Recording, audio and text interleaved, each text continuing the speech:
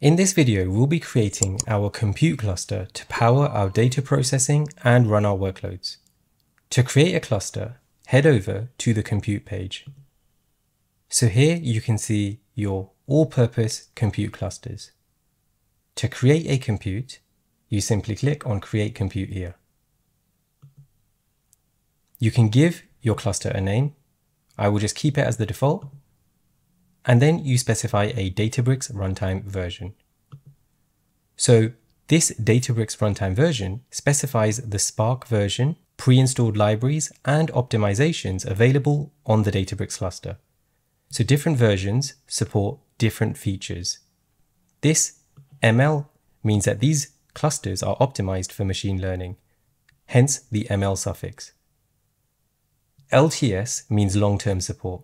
So selecting the right runtime ensures compatibility with your workloads. So I'll select standard. I'll select the highest version with long-term support, which is 15.4.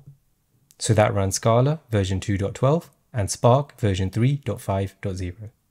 This compute cluster in the Databricks Community Edition is a free resource. It's provided for learning and experimentation, but it does have limitations compared to clusters in the full Databricks environment.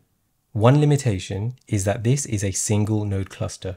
If you recall from the prior videos, I mentioned that Spark supports distributed computing and described the architecture of a Spark cluster, which consists of a driver, a cluster manager, and worker nodes. So in this instance, we have three, but we can have as many worker nodes as we like.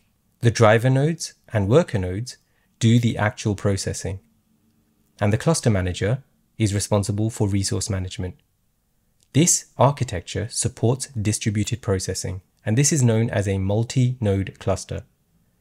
In a single node cluster, like the one that we're creating in this Databricks Community Edition, we only have a driver node. The driver node essentially functions as the worker node as well. This does not allow for distributed processing. But for the purposes of learning PySpark, the single node cluster will be sufficient for our needs. So this is a cluster of 15 GB of memory. You also have your configs and environment variables. So let's create the compute. So click on create compute. Okay, so as you can see by the spinning wheel here, the compute is being created.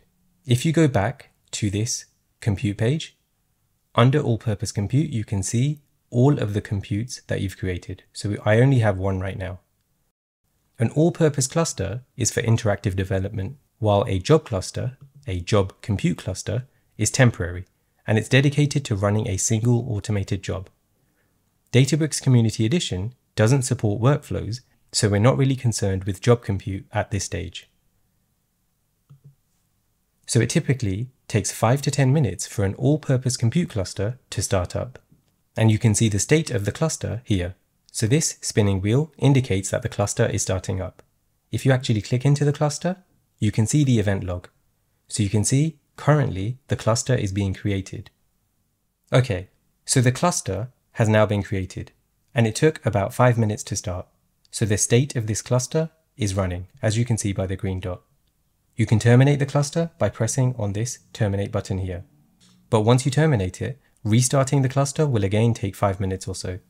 If you have a cluster running and it's idle, i.e. it's not doing anything like this cluster right now, then after a certain period of inactivity, it will automatically terminate. I believe that the auto termination time is after 60 minutes of inactivity at the time of recording, but I may be wrong. If your cluster does get auto terminated, you can just restart it again. So let me just stop this cluster. And once your cluster has stopped, as you can see, it's currently in the stopped state, so the terminated state, and you can restart the cluster by pressing this play icon here. But there may be instances where you might encounter issues when you're trying to start a cluster, like I just did there, and it's not letting you. If that's the case, then I'd recommend that you try to first delete this cluster. So to do that, you can click on the three dots here and delete and create a new one. Or you can keep this one and then click on create compute. And then you can just create another cluster. However, be warned that you can only have one cluster that's in the running state at a time. So if you have one cluster that's running and you try to create a new one, then it won't let you. So you can have multiple clusters, but only one of them can be running at a time. Great.